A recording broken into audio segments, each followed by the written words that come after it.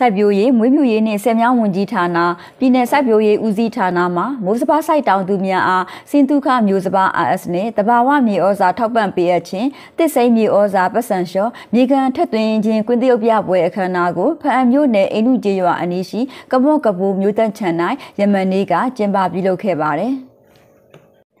အခမ်းအနားတွင်ကရင်ပြည်နယ်ဝန်ကြီးချုပ်ဦးစောမြင့်ဦးကမိုးစပါးစိုက်တောင်သူများအနေဖြင့်ဝိရိယထား၍အောင်မြင်ဖြစ်ထွန်းအောင်စိုက်ပျိုးလုပ်ကံကြဖို့လိုကြောင်းနှစ်သီးစားသုံးသီးစားစိုက်ပျိုး လုပ်ကံ၍တိထက်တိညက်များဖြင့်မြေယာကိုအနားမပေးဘဲစင်ဆက်မပြတ်စိုက်ပျိုးလုပ်ကံကြစေလိုကြောင်းလိုအပ်သည့်သွင်းအားစုနှင့်ဒီစိုက်နီးစနစ်များကိုစိုက်ပျိုးရေးဦးစီးဌာနမှကူညီထောက်ပံ့ပေးမည်ဖြစ်ကြောင်းမိုးစပါးတအေကအထွက်နှုံတိုးတက်စေရေးမြေမှန်မျိုးမှန်စိုက်နီးမှန်ရသည်မှန်အောင်စိုက်ပျိုးလုပ်ကံကြဖို့လိုကြောင်းပြောကြားခဲ့ပါတယ်။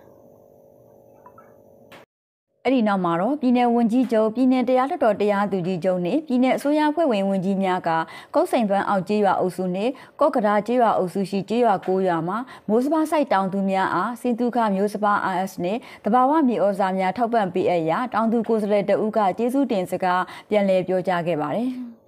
အဲ့ဒီနောက်မှာတော့ပြည်내ဝန်ကြီးချုပ်နှင့်အဖွဲ့ဟာကြီးရွာများမှာမိုးစပါးဆိုင်တောင်သူများနှင့်အတူစိုက်ပျိုးရေးဦးစီးဌာနမှတစ်စိမ့်မြေဩဇာပတ်စံလျှော်မြေကန်ထက်သွင်းခြင်းကွင်းသရုပ်ပြပွဲနှင့်